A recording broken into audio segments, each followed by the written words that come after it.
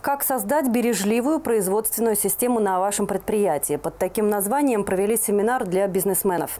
Он прошел в Люберецком коворкинг-центре «Старт». Это сравнительно новые площадки для ведения и развития предпринимательства, а сейчас стремительно набирающие популярность.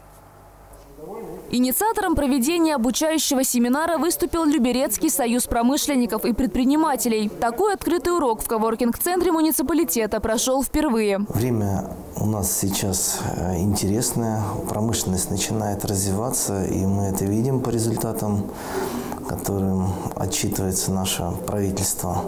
И внимание, которое уделяем мы развитию промышленности, оно как раз именно связано с тем, что мы должны донести информацию о лучших методах организации производства. Здесь говорили о проблемах предпринимательства, их решениях, технологиях ведения бизнеса и многом другом. Коворкинг-центры, как отмечают специалисты, новые площадки для поддержки предпринимательства. Благодаря им развитие своего дела рядом с домом возможно. Это развитие бизнеса. В коворкинге имеется абсолютно все для бизнеса. Это Wi-Fi, это оргтехника, это образовательные программы, это партнерские программы. Не нужно резидентам куда-то ходить, искать партнеров. Это все в одном месте. Это знакомство с другими резидентами, когда а, дальше они объединяются в группы и строят свой бизнес. Помимо этого в коворкинг-центрах предоставляются бухгалтерские, юридические и другие необходимые услуги.